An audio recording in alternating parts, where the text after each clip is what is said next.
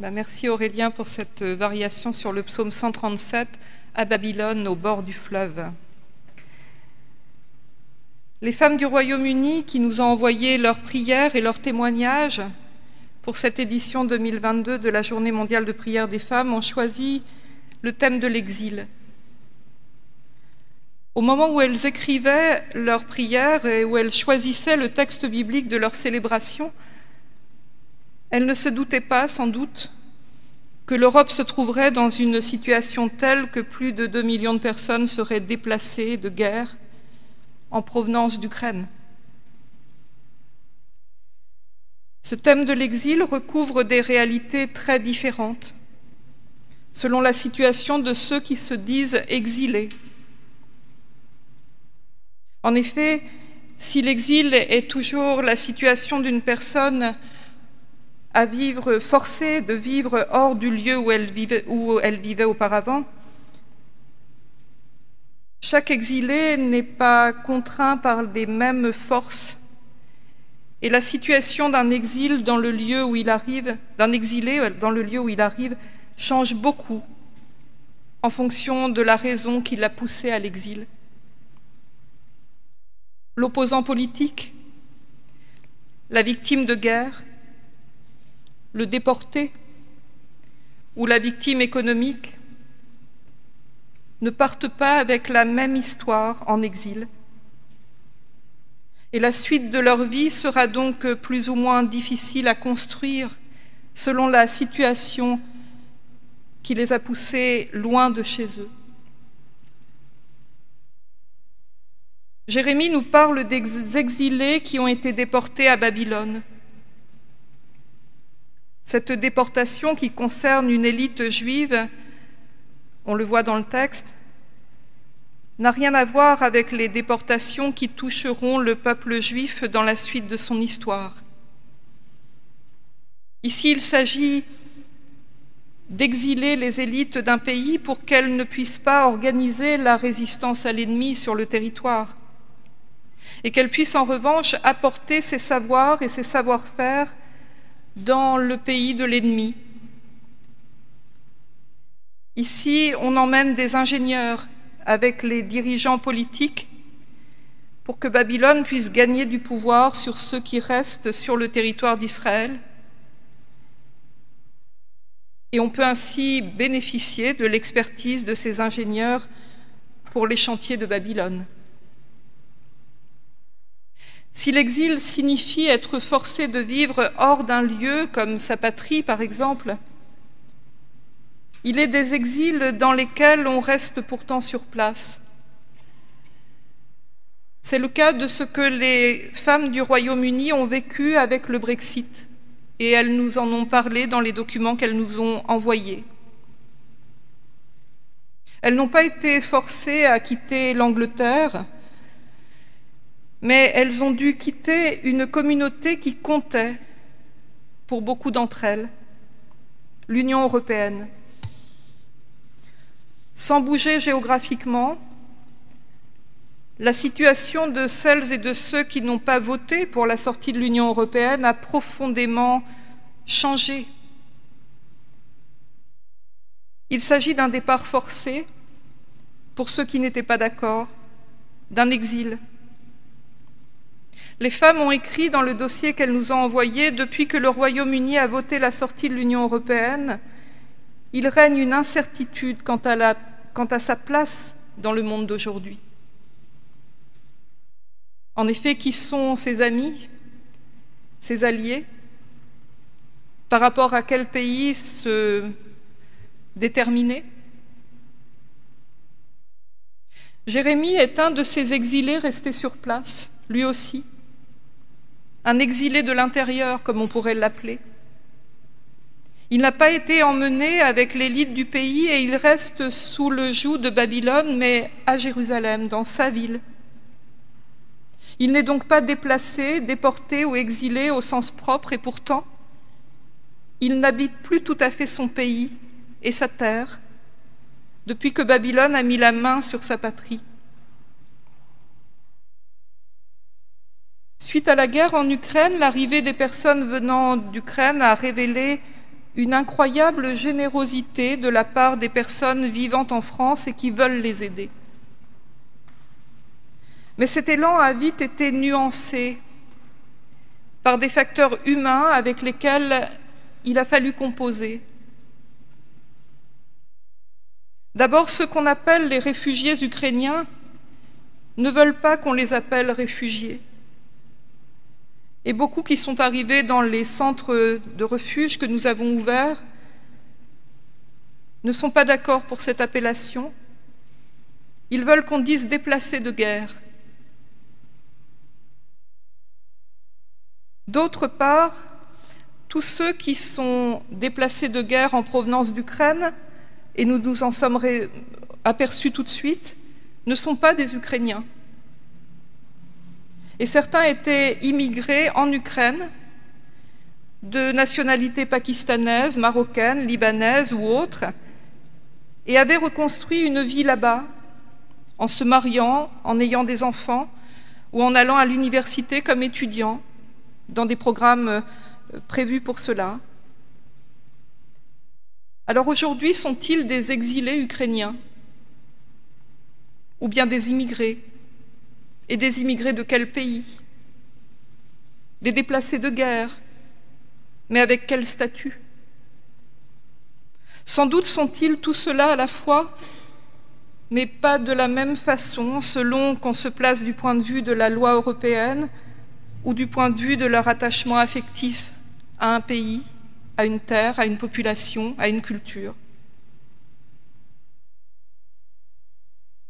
Ainsi, il a fallu que les associations qui aident au refuge des personnes venant d'Ukraine insistent pour les faire bénéficier d'un statut identique à celui dont bénéficiaient les personnes ayant la nationalité ukrainienne.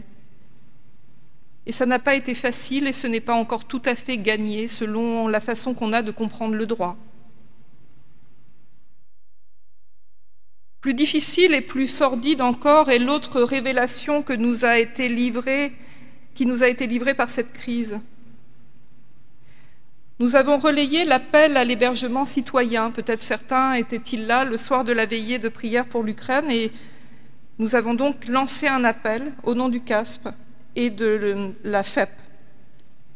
Si beaucoup l'ont entendu comme une aide humaniste, évidemment, d'autres ont précisé quand on les a rappelés pour leur dire que oui, ils pouvaient euh, commencer cet accueil, qu'ils ne voulaient que des réfugiés ukrainiens correspondant à leur idée de l'Ukraine, en fait, c'est-à-dire des Ukrainiens blancs, des gens qui leur ressemblent et vers qui ils pouvaient se projeter.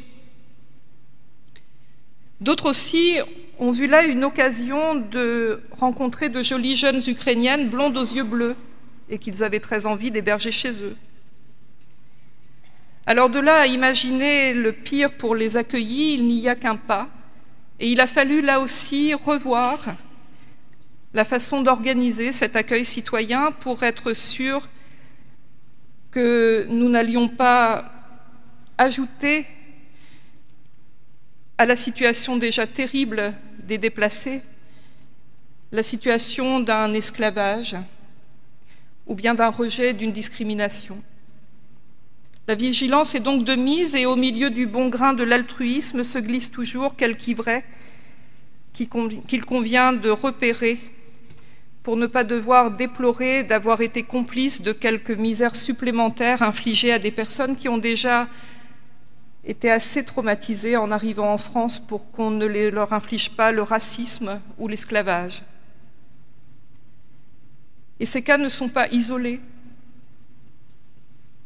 En filigrane, derrière la question de l'exil et du statut des personnes se pose donc toujours celle de la légitimité à espérer un avenir. Que peut-on espérer quand on a perdu tout repère, quand on est à la merci des autres pour pouvoir continuer sa vie, qu'on a été obligé de tout perdre, tout laisser? Et que ce sont d'autres personnes qui vous prennent en charge alors que vous êtes habitué à l'autonomie? Comment ne pas laisser l'exil briser ce qu'on a construit, ce qu'on a de plus cher? Comment vivre un nouvel attachement à un lieu, à une société, à une culture, quand on est tellement arraché à sa première culture? Le penchant le plus évident n'est-il pas de vouloir emporter son pays avec soi, son histoire, et ainsi se refaire une bulle identitaire là où on a été forcé de s'installer Parler sa langue entre ressortissants du même pays prier selon le rite de son église d'origine, manger les plats de sa culture culinaire, rester entre soi. Tout cela montre que le corps et l'esprit sont pétris du pays où l'on a grandi. Comment rester fidèle à son passé et continuer à vivre et à avancer quand on est exilé? La position du prophète Jérémie sur l'exil est originale dans le paysage biblique parce qu'elle est favorable étrangement à la culture de l'ennemi, si l'on lit le texte ainsi. Il n'écrit pas à l'élite qui est exilée à Babylone, rejetez la culture de ceux qui vous ont exilés, restez entre vous, ne donnez rien à ceux qui vivent avec vous et qui sont du camp de l'envahisseur. Non. Jérémie, au contraire, écrit cette chose étrange, construisez des maisons et habitez-les, plantez des jardins et mangez-en les fruits. Prenez femme, ayez des garçons et des filles, occupez-vous de marier vos fils et donnez vos filles en mariage pour qu'elles aient des garçons et des filles. Là-bas, soyez prolifiques, ne déclinez pas, soyez soucieux de la prospérité de la ville où je vous ai déportés et intercédez pour elle auprès du Seigneur. Il s'érige contre les faux prophètes qui annoncent la fin de l'exil dans à peu près deux ans, on le voit dans le chapitre qui précède le texte. Il condamne ceux qui donnent de faux espoirs et essaie d'installer les exilés dans une sorte de zone de transit où rien ne peut se construire puisqu'on y vit avec l'idée qu'on en repartira très vite. Être ici sans y être. Voilà l'erreur selon Jérémie. Il ne faut se faire aucune illusion, le temps de l'exil sera long d'après lui. Et si l'on ne vit pas, dès maintenant, en fabriquant l'avenir, en mettant au monde des descendants, en préparant les générations futures, alors le temps passera et les enfants d'Israël disparaîtront pour avoir été simplement dans l'attente. Le message de Jérémie à ceux qui sont en exil est clair. Soyez soucieux de la prospérité de la ville où je vous ai déportés et intercédez pour elle auprès du Seigneur. Sa prospérité est la condition de la vôtre. Ce calcul tout à fait utilitariste met au passage l'exil dans les mains du Seigneur, si l'on entend bien. D'après Jérémie, Dieu est le Dieu de l'univers, il a donc aussi fait l'exil. Pour lui, il est le maître de tout. Voilà la foi de Jérémie. Il y a donc quelque chose à apprendre de cette situation, quelque chose à faire pour l'avenir avec le Dieu de la vie. Au cœur même de l'expérience du déracinement, la théologie de Jérémie défend l'existence d'un plan de Dieu pour chacun, d'un avenir, alors même que tout semble bouché.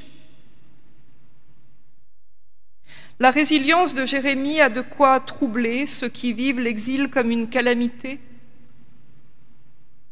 Mais c'est un Dieu de la vie que prône Jérémie. Un Dieu qui ne veut pas d'un peuple sclérosé, qui ne prospère plus, son peuple est son honneur à ce Dieu. Et il faut qu'il vive. Cette résilience nous dit quelque chose d'essentiel sur notre propre exil.